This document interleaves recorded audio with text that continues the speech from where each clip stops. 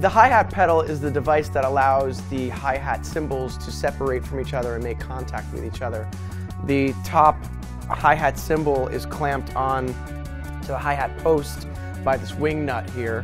And as you depress the pedal, the cymbals make contact with each other. When you pull your foot off, they separate from each other. Your foot can move at different levels with the hi-hat pedal depending on how separated you want the cymbals. If you want them real tight for a tight hi-hat, you would depress really strong on the pedal and that creates a tight sound. If you want something a little bit looser, you would put a little more pressure toward the middle of your foot, put your foot flush on the pedal, and you get more of a half open hi-hat sound.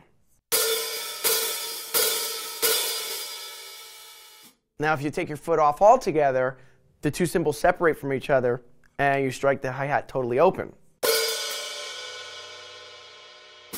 Now that's not normally done. If you're going to open the hi-hat and open and close it, I should say, you are going to bring your foot on and off to create either a sound that is more like a chick of the hi-hats chicking together or coming together, like this.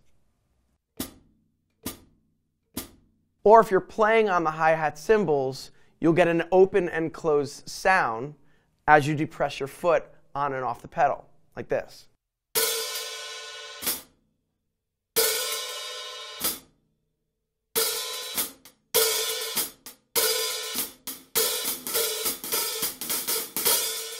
And that's how you control the hi-hat from moving up and down.